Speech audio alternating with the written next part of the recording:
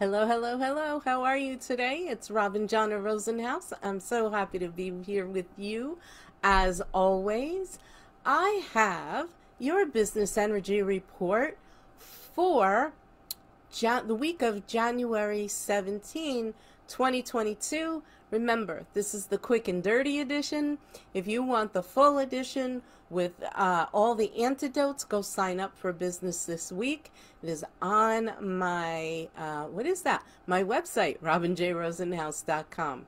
Okay, so I would say the most important part of this week's reading that you need to know is um, you're going to need to make a choice this week um, whether to go forward with with a uh, with something or not.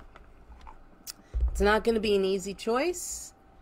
It's most likely something that you have been working on for quite some time and haven't either achieved the desired result or it doesn't hold the same um, emotional reward that it used to. So, I'm not surprised. From what I understand, this Mercury retrograde is about that inner work, going inside, really reviewing things. So it just makes a whole lot of sense to me that that's where things are going this week, okay?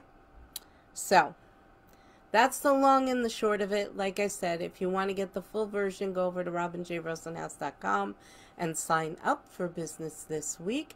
If you want your own detailed report about what's going on with the energy in your world and in your life so that you can um, reduce some decision fatigue, right? Make your decisions faster and easier than before and with more confidence.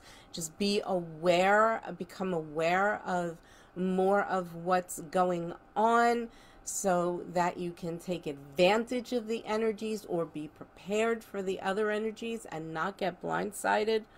Move your business forward, move your life forward. Just manifest what you want faster and easier than before. An energy reading then is for you. Over at robinjrosenhaus.com, click on work with me. It's right there in the drop down. It's called energy reading. So, that's it for this week or for today. I will be back here tomorrow, Monday, January 17th, with your daily energy report. I hope you have a phenomenal day. And remember, when you align your energy, you accelerate your results. Bye bye.